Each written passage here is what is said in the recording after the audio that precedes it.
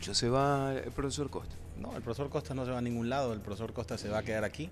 Eh, buscando la 15, buscando pues salir adelante en Copa Libertadores a la próxima fase. Yo creo que Barcelona tiene, eh, tiene una gran posibilidad de pasar.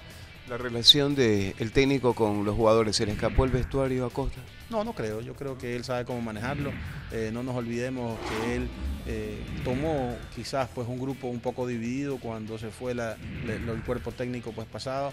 Eh, lo formó, él, él, es un técnico campeón que viene también pues demostrándolo en otros países, no solamente en Ecuador. No es un técnico improvisado y es un técnico pues que sabe cómo manejar al grupo y sabe cómo manejar a Barcelona. ¿Hasta cuándo el contrato con Costa? Bueno, por este año nomás. Eh, los técnicos normalmente firman por un año, así que nosotros seguimos adelante, lo apoyamos en un 100% y esta dirigencia pues está decidida a salir campeón, a salir adelante en Copa Libertadores y esperamos pues que todas las ratas y las cucarachas, pues piratas, etcétera, que, que, en realidad se meten en contra de Barcelona, pues sigan gritando, sigan, sigan pues haciendo y diciendo las tonterías que quieren del club, porque el club le va a demostrar pues que es un equipo campeón, que es un club fuerte y que es un club pues, que nunca se va a dejar torcer la mano. Arroyo ¿Qué ocurrirá con Arroyo? Porque hasta junio queda.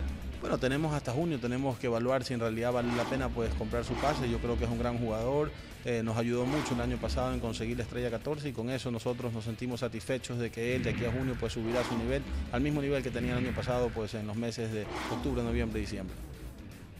Eh, hablando de los refuerzos foráneos, que son temas discutidos, ¿le llena lo de Nahuel Pan hasta el momento? Bueno, en cuanto a los reservos foráneos, yo creo que Nahuel Pan es un gran jugador, va a demostrar, pues ya ha demostrado metiendo goles pues en varios partidos.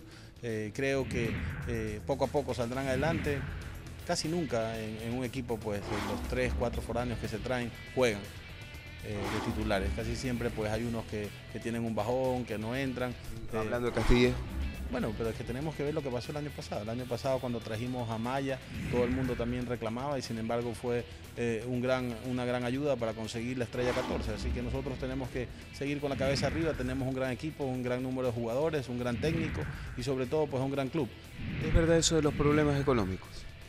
No, problemas económicos por supuesto que tiene el club, tiene una deuda de más de 18 millones de dólares que le damos, pues hemos venido pagando con las instituciones pues, del Estado, con, con personas naturales eh, que también se les debe, eh, inclusive pues se hicieron pues eh, formas de pago para los que salieron de las dirigencias anteriores, los cuales pues se los tomaron de lo, de, lo, que nosotros teníamos que haber recibido.